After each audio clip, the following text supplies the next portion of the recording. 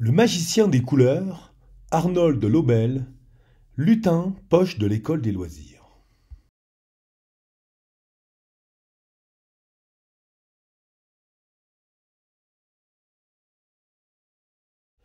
Le magicien des couleurs.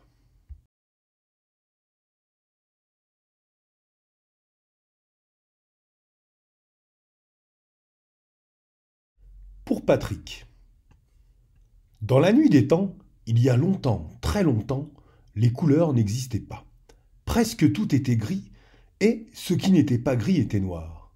C'est ce qu'on a appelé la période grise du monde.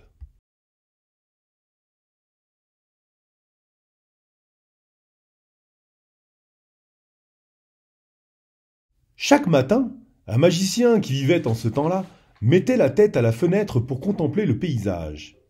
Il me semble qu'il manque quelque chose à ce monde, dit-il un jour. On ne peut pas distinguer quand la pluie cesse de tomber et quand le soleil se met à briller.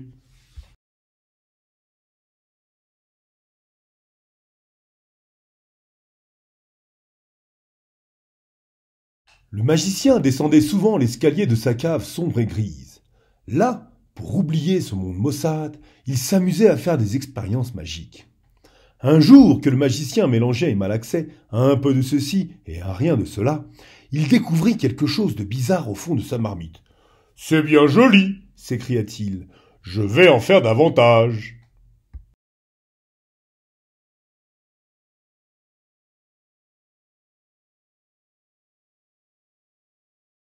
Qu'est-ce que c'est? demandèrent les voisins en voyant le magicien peindre sa maison. Une couleur, dit le magicien, J'appelle ça du bleu. Je vous en prie, crièrent les voisins, donnez-nous-en un peu. Volontiers, répondit le magicien.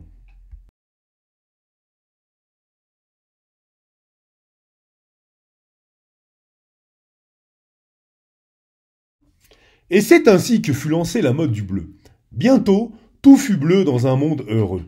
Les arbres étaient bleus, les vaches étaient bleues, les coccinelles bleues, les écureuils aussi. Le magicien chevauchait une bicyclette bleue pour contempler son univers en bleu, et il disait C'est merveilleux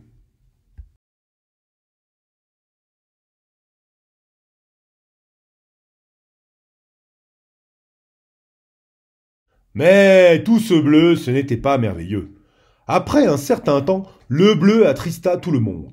Les enfants ne jouaient plus, les coqs ne chantaient plus, les saules pleuraient, le troubadour poussait des complaintes déchirantes.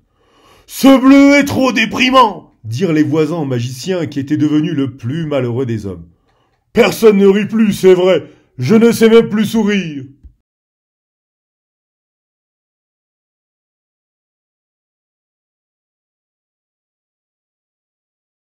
Il faut que je fasse quelque chose, se dit le magicien en descendant lourdement l'escalier de sa cave sombre et bleue.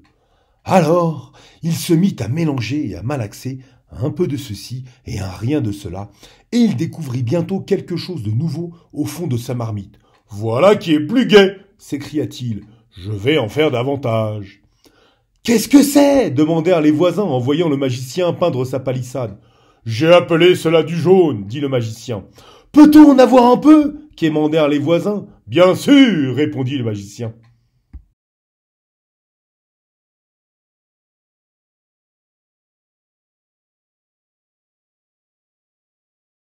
Et c'est ainsi que fut lancée la mode du jaune. Bientôt, tout fut jaune dans le monde. La rivière et la mer étaient jaunes comme le ciel, les cochons étaient jaunes, les écureuils aussi. Les perruques étaient comme les feuilles des arbres, jaunes comme papa, maman, petit Pierre et son chien. Chez l'arracheur de dents, on riait jaune. Le magicien galopait sur son cheval jaune pour explorer son univers en jaune. Il disait C'est très réussi.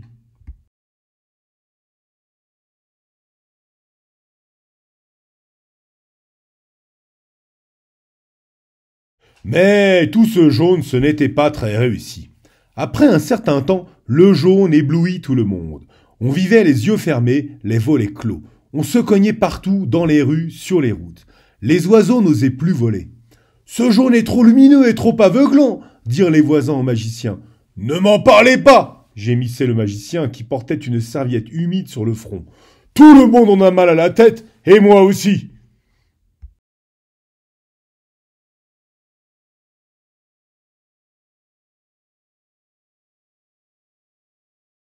Le magicien descendit donc, en trébuchant, l'escalier de sa cave sombre et jaune.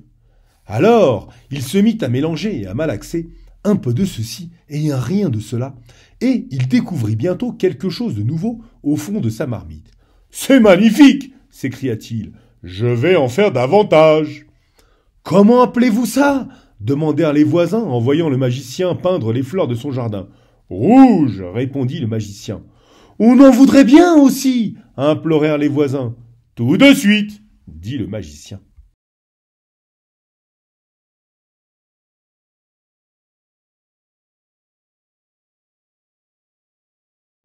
Et c'est ainsi que fut lancée la mode du rouge. Bientôt, tout fut rouge dans le monde. La rivière était rouge comme le ciel, le lapin était rouge comme les canaris, le fromage était rouge, les glaces, les gâteaux, les chapeaux, les manteaux et l'écureuil aussi. Le chat était aussi rouge que les poissons. Le magicien canotait dans son bateau rouge, il disait C'est l'idéal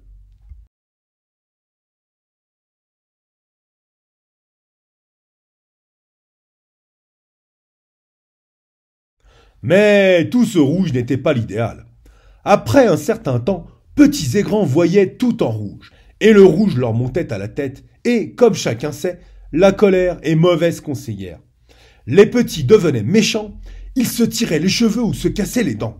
Les grands se faisaient la guerre, ils cassaient la vaisselle ou tiraient le canon. Chez le juge comme à la maison, on aurait dit un combat de coq. Les voisins, furieux, prirent d'assaut la maison du magicien. Cet horrible monde rouge, c'est vous qui l'avez fait. Ils lui lancèrent des pierres. Le magicien était rouge de colère.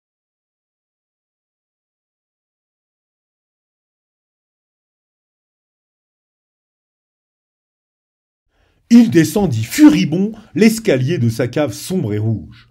Pendant des jours et des jours, il mélangea et malaxa.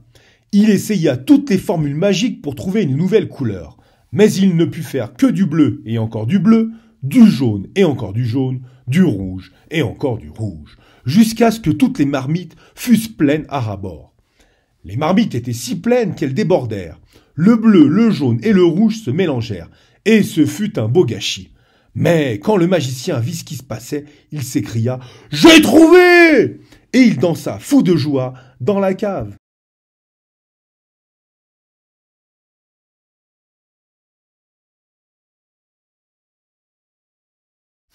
Le magicien mélangea le bleu et le rouge et il fit une nouvelle couleur. Il mélangea le jaune et le bleu et fit une autre couleur. Il mélangea le jaune et le rouge et il fit encore une autre couleur. Hurrah s'écria-t-il, et il mélangea le rouge, le bleu et le jaune de différentes façons. Regardez les belles choses que je viens d'inventer, dit le magicien quand il eut terminé. Qu'est-ce que c'est? demandèrent les voisins. Du violet, du vert, de l'oranger, dit le magicien.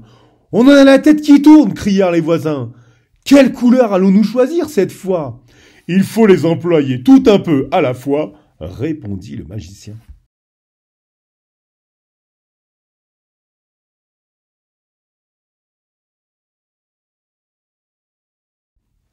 Les gens prirent toutes les couleurs que le magicien avait créées. Bientôt, chacune d'elles trouva sa place, et après un moment, quand le magicien ouvrit sa fenêtre, il regarda et dit c'est merveilleusement réussi et idéal.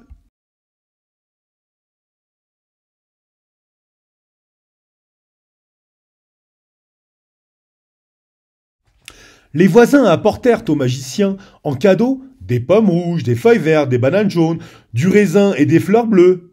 Enfin, le monde était bien trop beau pour qu'on ait envie d'y changer quelque chose.